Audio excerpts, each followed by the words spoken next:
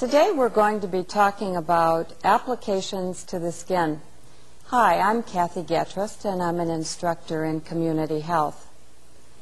Warm and cold applications are used for a variety of reasons. They're only given with a written order from a physician and have a very specific period of time that they are to be applied. Some facilities only allow professional staff to uh, apply heat and cold, and some states have laws against unlicensed staff, such as yourself, applying these treatments. In other facilities, caregivers who have been specially trained are permitted to carry out these procedures under the supervision of the nurse. Given these differences, be sure that you are aware of the policy in your facility and are adequately prepared and supervised before doing any of these independently. There are a number of reasons why warm and cold is applied to the skin. One might be to relieve pain, to combat local infection, swelling, or uh, inflammation, they might be used to control bleeding, alter the body temperature, or to reduce joint stiffness and help relax the muscles. There's a difference between dry and moist applications. A dry application means that no water actually touches the skin. It's just the heat or cold that touches the skin. A moist application is uh, an application where water does touch the skin. And this makes water, uh, the water addition makes the cool and warm applications much more penetrating and much more likely to cause injury. So extra care must be taken to protect the patient when moisture is used. There are high-risk groups that receive warm and cold applications that need particularly close supervision. I'm thinking about young children that may not be able to report that they are experiencing any problems. Older adults, um, on other videotapes we've talked about older adults having decreased sensation on their skin.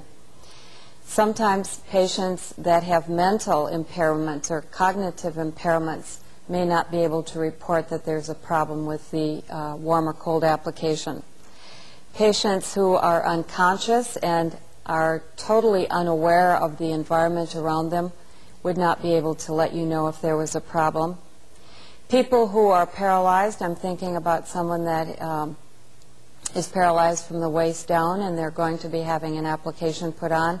They have no sensation in those legs when they're paralyzed, and as a result, you'd have to take special care uh, to be aware of problems if they were occurring. And also people who have poor circulation. Uh, diabetics uh, frequently have decreased sensation in their legs and may not be able to report a problem if it occurred. Cold applications are only given with a physician order and a number of reasons why cold would be applied. One is that it constricts or decreases the size of blood vessels. This is called vasoconstriction.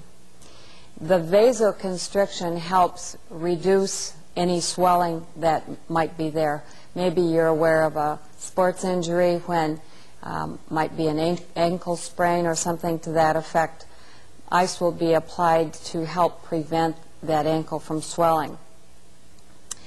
Cold can also decrease sensitivity to pain, um, headaches, uh, toothaches, maybe facial surgery.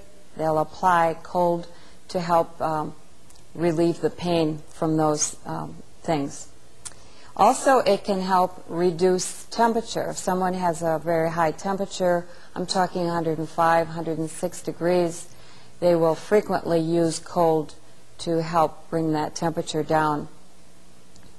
Also, cold is used to slow an inflammatory process where there's redness and, and swelling and pain. Um, the inflammation can be uh, reduced by the application of cold. Also, cold can help reduce itching. Sometimes a medicated bath of cool water with, with uh, some particular medication applied to the water can be used for um, itching could be due to an allergic reaction where there's been quite a bit of rash developed as a result. Remember, moisture increases the effect of cold just as it does with heat, and so caution must be used when applying a moist cold.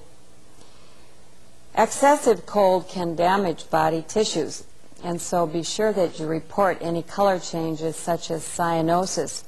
Cyanosis is a bluish color. It's easier to see usually on someone's lips if uh, there is too cold uh, application.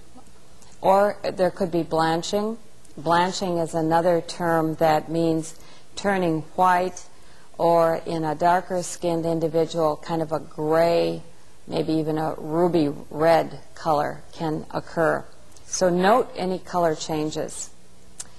Report any feelings of numbness, tingling, or loss of sensation or any other discomfort that you might be aware of. Stop the cold application if the patient starts to shiver. If someone starts to shiver, it really is counterproductive to be applying cold. The act of shivering uh, increases body temperature. So you certainly do not want them to start to shiver, particularly if they have a high temperature, as it will only increase it more. In that instance, you would want to stop the cold application and uh, cover the patient up so the shivering can stop and report it immediately. There are several methods for applying therapeutic cold. One might be the use of a disposable ice bag. These are single-use uh, bags that are commercially prepared and can be stored until they're needed. They usually remain effective for about 15 to 30 minutes. Because there are a wide variety of these single-use packs, be certain to follow the manufacturer's instructions carefully because they all differ a little bit.